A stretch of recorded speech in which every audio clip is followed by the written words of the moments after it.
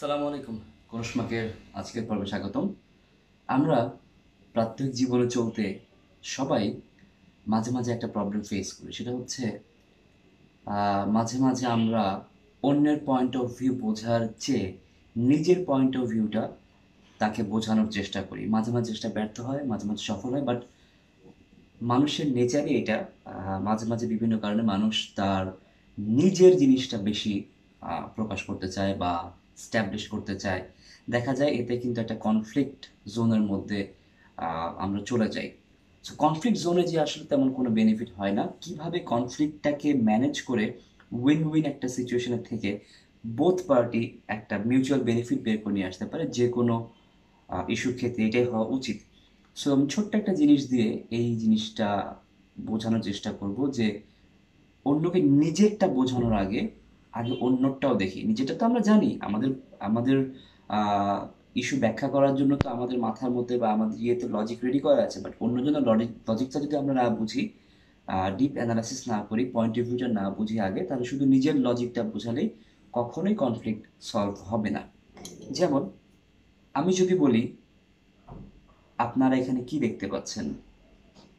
অনেকেই বলবেন যে একটা কাগজে দুটি আলো মার্ক বা একটা আরেকটা ছেঁড়া কাগজ বসানো আছে বা অন্য কিছু।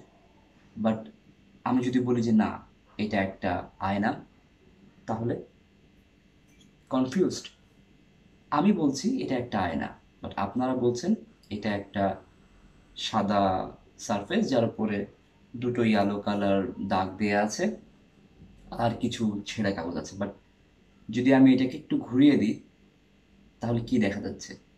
এটা ডেফিনেটলি একটা আয়না। তার মানে কোনো জিনিসের এক সাইডটা বা একটা পয়েন্ট অফ ভিউ দেখে বা একটা অ্যাঙ্গুলার ভিউ দেখে আমরা কখনোই সেই জিনিসটা কি হতে পারে বা সেই ইস্যুটা কি হতে পারে সেটার ব্যাপারে কনক্লুশনে আসলে বেনিফিট কখনোই হবে না কনফ্লিক্ট থেকেই যাবে। সো এই জন্য যে কোনো জিনিসকে চারিদিক থেকে অবজার্ভ করতে হয়।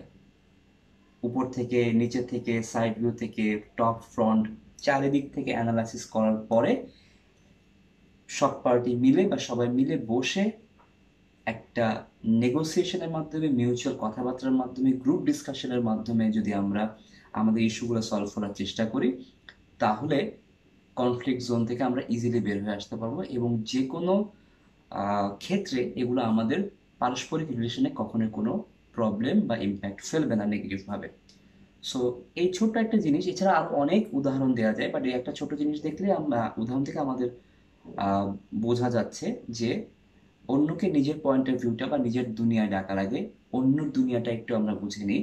So or before inviting anyone to our own world we must visit their world to understand both sides view thank you আশা করি এখান থেকে আমরা উপকৃত হব। ভালো লাগলে লাইক শেয়ার দিবেন। Thank you